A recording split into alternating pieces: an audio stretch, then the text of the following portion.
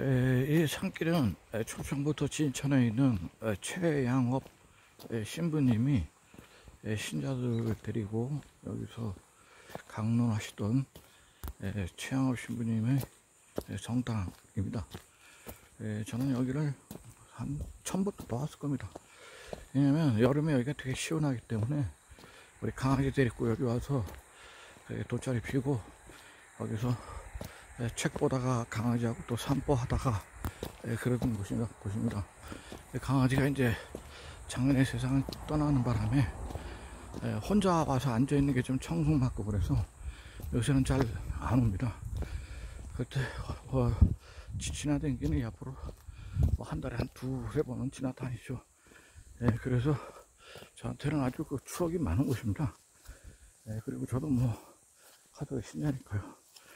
그래서 여기 이제 묵, 묵상의 길 16개 코스 또 하고 또 지금 저 앞에 동상이 하나 서 있는데 그 동상이 바로 최양업 신부님입니다.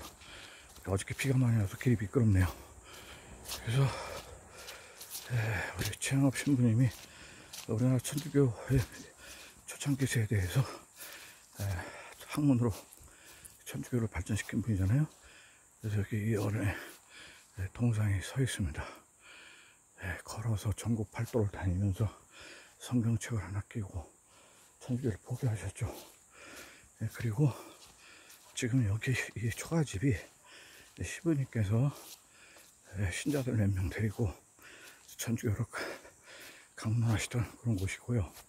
저 끝에 동상이 세 개 서 있는데 최양업 신부님의 부모님 그리고 최양업 신부님이 가운데 지금 서 있는 모습입니다.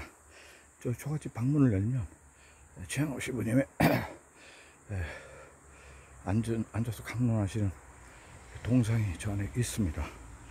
그래서 가끔 할머니들이 저기 들어가셔서 기도하고 그런 모습을 볼 수 있고요.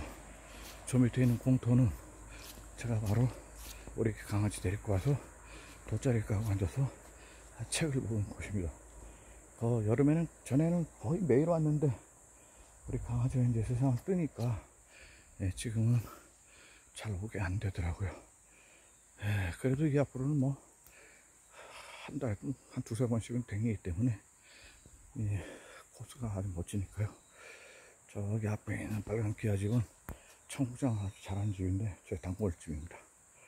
최영업 신부님이 계신 성지에서 예, 한번 말씀드렸습니다. 감사합니다.